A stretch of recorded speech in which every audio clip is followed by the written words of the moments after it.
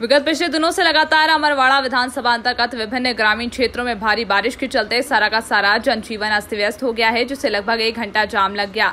कुछ जगहों पर भारी बारिश के कारण ग्रामीण क्षेत्रों के सभी नदी नाले बहुत उफान पर दिखाई दे रहे हैं। बारिश के चलते ग्राम पंचायत खामी हीरा मेन रोड से लगा छोटा नाला का पानी इतना बढ़ गया कि पानी पुल के ऊपर से निकल गया और पूरी तरह डूब गया और ग्राम के सारे लोग ग्राम के इस नदी के नाले के ऊपर बारिश के पानी के उफान को लेकर परेशान होते रहे।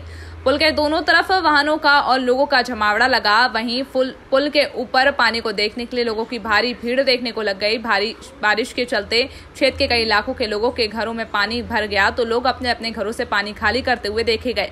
तो वहीं बहुत से ग्रामीण इलाकों की नालियों से बाहर पानी बहुत बहता हुआ नज़र आया। तो वहीं बड़े गाँव के राधा, सर्वेश्वर राधा कृष्ण मंदिर में आज फिर भारी बारिश के चलते पूरा मंदिर परिसर के चारों तरफ़ पानी हो गया। एनटीवी टाइम के लिए संवाददाता योगेश चौरासिया की रिपोर्ट।